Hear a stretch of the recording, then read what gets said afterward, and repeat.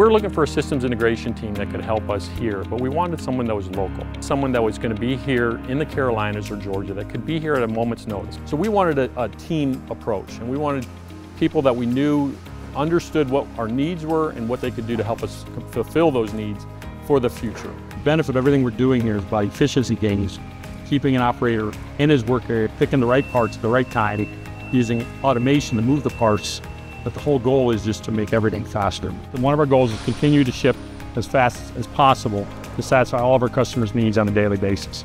And you know, currently we're shipping 85% of our orders same day for the day the customer asks. So the more we can do this, the better we are at hoping reach that 90 to 95% goal in the future.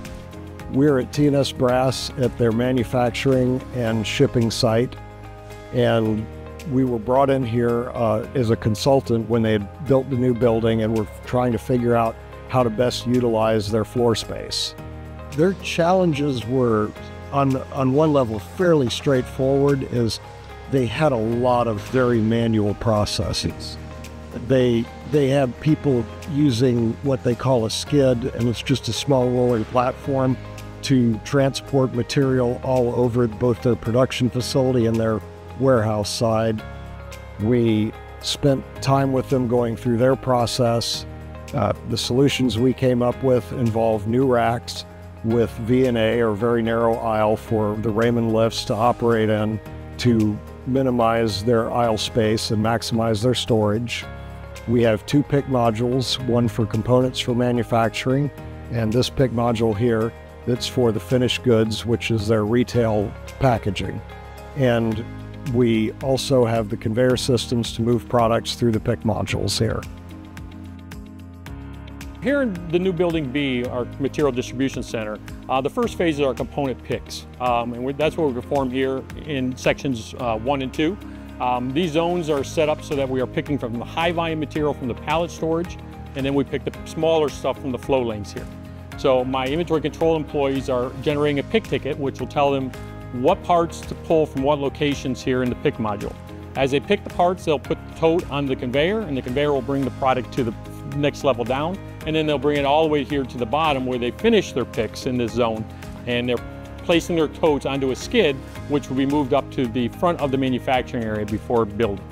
So the racks are divided into two halves, where half being our finished goods material, which you'll see in a moment, and then the other half the component material that comes in from our suppliers that we're picking or moving to the assembly department as needed on each individual order. So we generate about 600 pick tickets a day, um, which are being processed between the various zones, including here in Building B as well as in Building A, which is closer to the assembly department. So all this material that you see behind us is being picked and be moved up in the next 30 minutes where they'll do the final picks in, in, in another zone before it goes to the assembly department. So as material arrives from our supplier here on our receiving dock, which we now have four doors here in Building B instead of the previous two we had, the material is inspected by our quality department, and from there, our inventory control people will move the material here into these tall racks. Um, as you can see, this end of the rack holds all of our component material.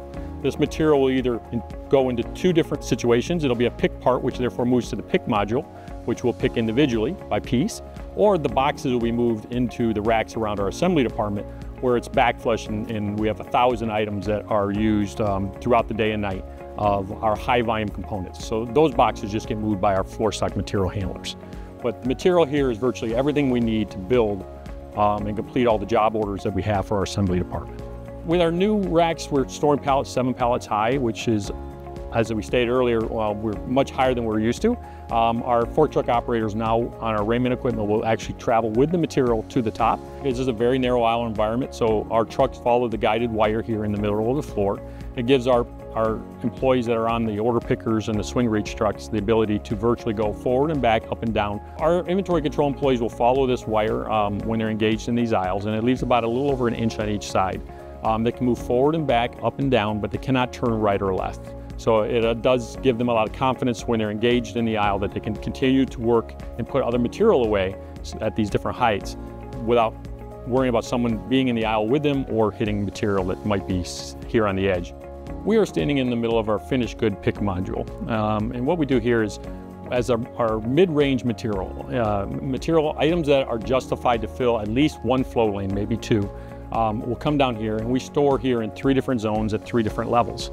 So as the material comes from our assembly department, the order pickers will place the material here into the pick module and our inventory control employees will be here when they will scan the barcode on the box as well as the barcode on the label and then place the material here on the conveyor which will take the material to the end of the aisle. All of our, our flow lanes here brings the material here to the center so as we're loading from the outside and, and these lanes could hold up to 10 faucets deep, uh, gravity will pull it down here to the face so it'll be very easy to retrieve. Um, again, instead of stacking material off on a skid here and moving the entire skid of material around the warehouse, the inventory control employee's responsibility here is just to move the material from the flow lanes to this conveyor and the, the conveyor will take the material away. We have to bring the material down from the three different levels here to the ground. So the spirals allow us to just continue to load the conveyor at whatever level and it'll all exit right here to my right and out here at the end of our, our pick module. Um, at that point, we will stack it off into five different parking spaces. And from there, when the parking space is complete and we've completed the pick assignment, we will print a document that'll go to a drop ID, which be moved over to our packing department. So everything was is accurate. Um, it's, it's stacked off in order as it's moved through the conveyor, and it just makes us that much more efficient on getting product to the packing department. As you saw earlier, all of our larger faucet boxes are stored in zone A, B, C, and D. B and C and D being our, our finished good pick module. Here at the far end of the building is zone E and F, which is our high volume, possibly low volume small parts. Um, anything that doesn't justify being on a flow lane or on a cart is moved over here. This material is stored here in these racks that you see here to, to my left. Um, that's our high volume picks, and then our low volume is here in the vertical lift modules from Modula that we put in um, at first of last year. The benefits we have is that we have integrated these Modula VLMs with our Infor WMS system, our warehouse management system. So when she pulls up an assignment on her handheld device, it'll automatically start pulling the shelves needed in all three units. So she is just going to those shelves, scanning the location to confirm she's at the right location in the VLM, scanning the part number to confirm she's pulling the right tote or the right part out of the tote, and then she's placing it in these blue totes that she is sending down on the center conveyor line. Every one of these VLMs has 60 shelves, and each shelf has 11 locations or, or totes, and, and we're putting three totes per location. So we have well over 1,800 pick locations in these three VLMs. The efficiency gains on these is the fact is that we're no longer moving all the shelves simultaneously, we're only moving the shelves that we need for every pick assignment.